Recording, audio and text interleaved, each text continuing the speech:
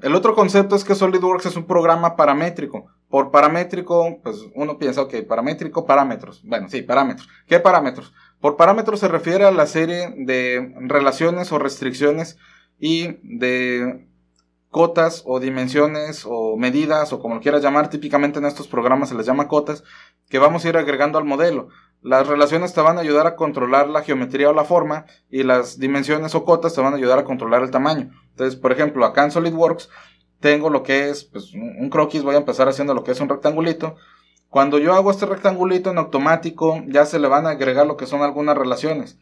Esta relación de horizontal es lo que va a mantener que esta línea sea siempre horizontal, igual acá esta relación de vertical. Entonces, cuando nosotros tengamos que modificar lo que es esta figura, si yo arrastro lo que es la esquina, vamos a ver que esto mantiene su forma de un rectángulo. Como las líneas estas se mantienen horizontales y estas se mantienen verticales, pues esto va a ser un rectángulo independientemente de cómo lo mueva. A lo mejor más acostado, a lo mejor más levantado, a lo mejor más cuadrado, pero al final un rectángulo como quiera. Si yo borro alguna de estas relaciones, lo que va a pasar es que al perder esa relación, cuando yo haga este movimiento, vamos a ver que ya la forma de rectángulo se pierde. Ahora estamos llegando con un trapecio, perdón, trapezoide. Entonces ahorita estamos logrando un trapezoide porque como esta línea ya no se mantiene vertical, pues ya se empieza a inclinar. Entonces las relaciones son estos cuadritos verdes que nos permiten controlar la forma del objeto. Y estas, algunas se agregan en automático, como estas que ya vimos que se agregaron en el rectángulo, y otras pues se tienen que agregar de forma manual. Por ejemplo, decirle que esta línea de aquí y esta línea acá pues tengan una relación de, no sé, perpendicular. Entonces ya van a estar a 90 grados. Entonces, nosotros podemos ir haciendo relaciones automáticas o algunas de forma manual. Aparte de lo que son las relaciones, ahorita bueno, voy a hacer los cambios para tener otra vez la vertical. Aparte de las relaciones, mencionaba que teníamos las cotas. Las cotas, pues son las medidas que van a controlar exactamente cuánto, o sea, qué tamaño va a tener el objeto.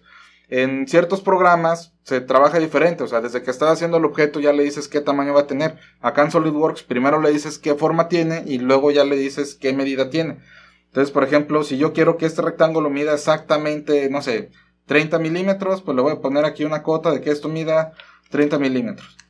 Entonces ya con la cota ya controlo que esto sea exactamente 30 y ahora nomás le voy a decir que la altura sea, por ejemplo, de 20. Entonces, poniendo la cota de 30 y la altura de 20, con esto ya controlo pues que este, este rectángulo mide exactamente 30 por 20. Si yo quisiera cambiar su tamaño ahorita, ya no puedo arrastrarlo libremente. Lo que tendría que hacer es modificar ya sea su longitud o su altura.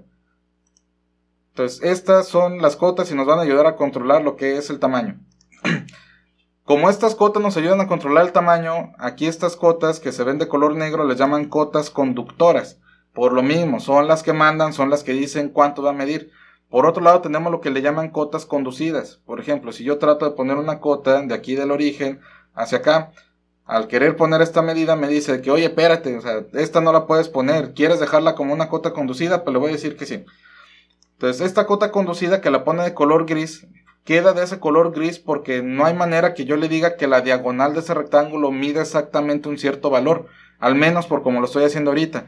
Lo que pasa aquí es que, pues si recuerdan un poquito, pues en algún momento en sus vidas, en la carrera, en la prepa o lo que sea, debieron de haber llevado lo que es el mentado teorema de Pitágoras, donde te dice que cuando tú tienes un triángulo rectángulo como este, o sea, un triángulo con, con un ángulo de 90 grados, que la hipotenusa bueno, que el cuadrado de la hipotenusa es igual a la suma del cuadrado de los catetos. Entonces, si yo quisiera sacar este valor, pues sería este de 20 al cuadrado más este de 30 al cuadrado. A esa suma le saco raíz y pues ya con esto tengo lo que es la hipotenusa.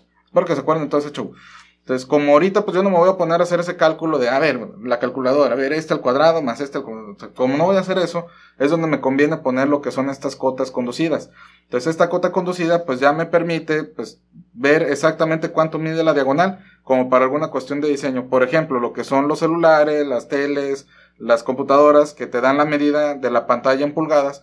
Normalmente esta medida pues es la medida en diagonal. Entonces, a veces si fuera, no sé, si estoy diseñando alguna funda para mi celular, pues me conviene saber pues que estoy cumpliendo con lo que es la medida en diagonal de la pantalla. Por poner un ejemplo, o puede ser cualquier otra cosa. Pero entonces, paramétrico de SolidWorks nos referimos a los parámetros que serían las las distintas relaciones geométricas y lo que serían las cotas conductoras y cotas conducidas que vamos agregando en el modelo. Las conductoras son las que mandan, se ponen de color negro y las conducidas son de color gris y nomás sirven como referencia. Entonces con esto terminamos lo que es esta parte de paramétrico.